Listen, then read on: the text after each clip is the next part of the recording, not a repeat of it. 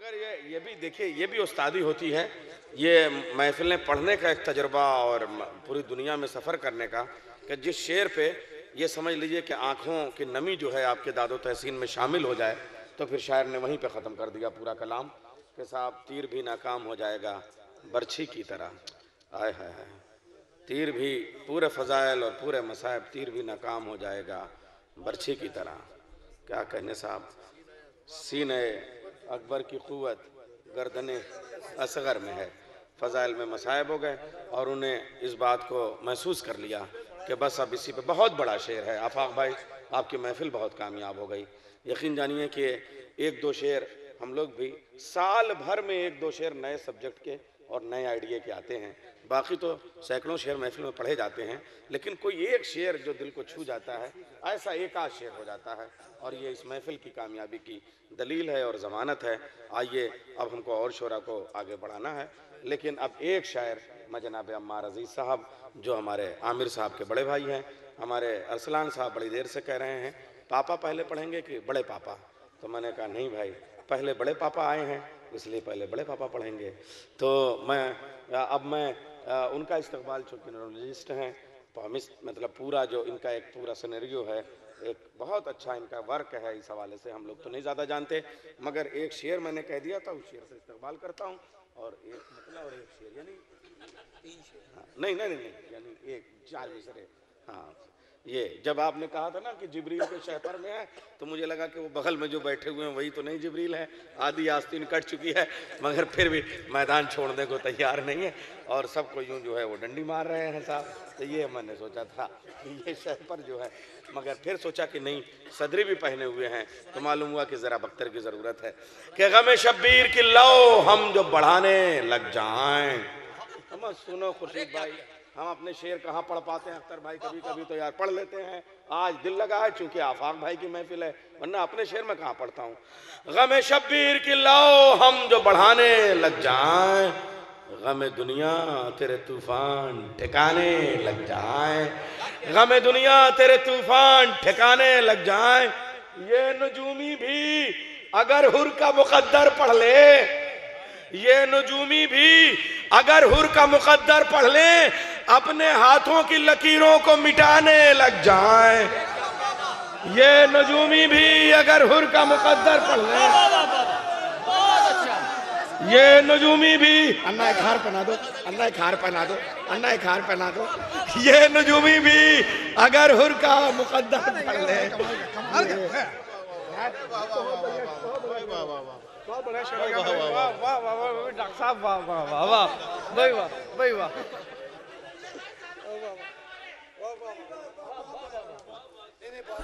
कसम खुदा की।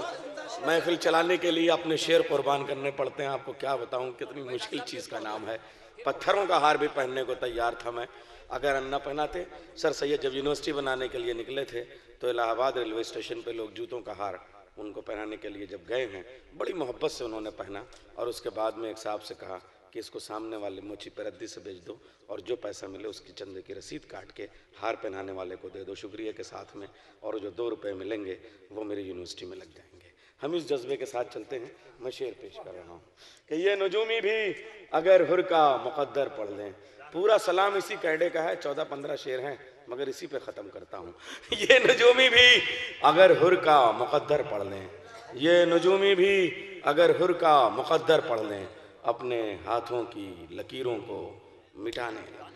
मैं गुजारिश कर रहा हूँ, मोहतरम जनाब, अम्मार अज़ीज़ साहब से। नारे है दरी कि बताओ मेराज के सफ़र से नबी का क्या मर्तबा बढ़ा है? बताओ मेराज के सफ़र से नबी का क्या मर्तबा बढ़ा है?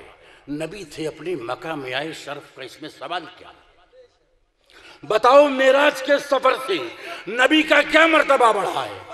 मकी थे अपने मका में आए, शरफ का इसमें सवाल क्या है? कसम खुदा की, फलक पे जाकर बड़ी नहीं है नबी की अजमत। कसम खुदा की, फलक पे जाकर बढ़ी नहीं है नबी की अजमत। बढ़ा है अरसे बड़ी का रुतबा नबी के कदमों में आ गया। बढ़ा है अरसे बड़ी का रुतबा नबी के कदमों में आ गया है। हाजरी नैयर भाई ने मौला हुसैन के ऊपर शेर पढ़ा था तो वो मेरे जहन में पूरे चार शेर बसूँ दो मतले और दो तीन चार शेर कि सब्र का रब से अगर करता न तू वादा हुसैन। सब्र का रब से अगर करता न तू वादा हुसैन। शान में तेरी भी आती, ला फता इल्ला हुसैन।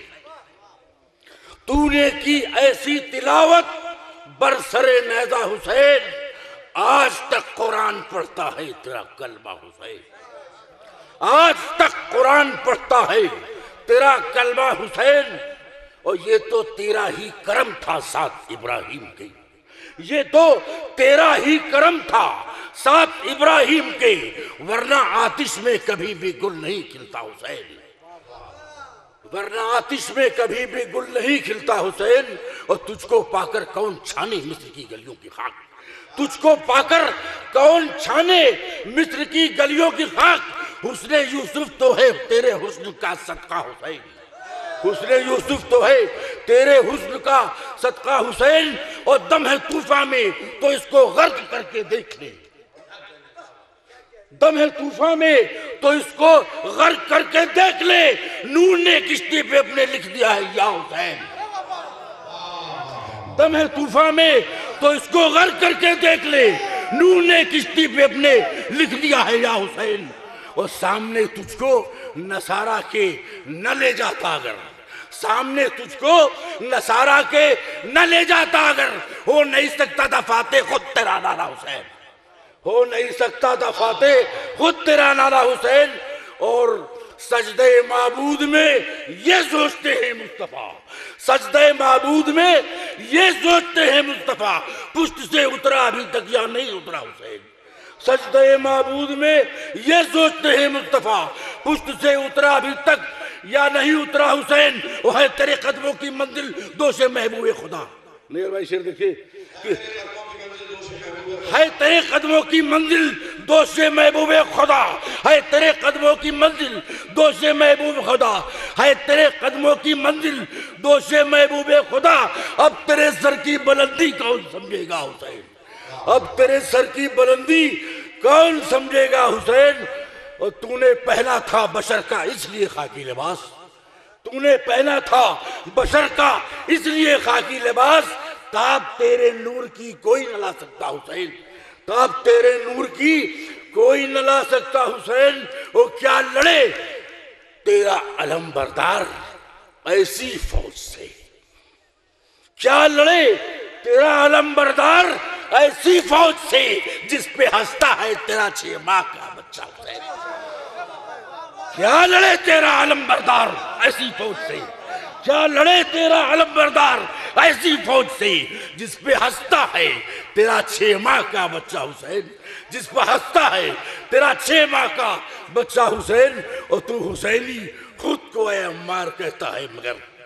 तू हुसैनी खुद को ए अम्मार कहता है मगर बात तो तब है, तुझे खुद भी कहे अपना हुसैन। बात तो तब है, तुझे खुद भी कहे अपना हुसैन।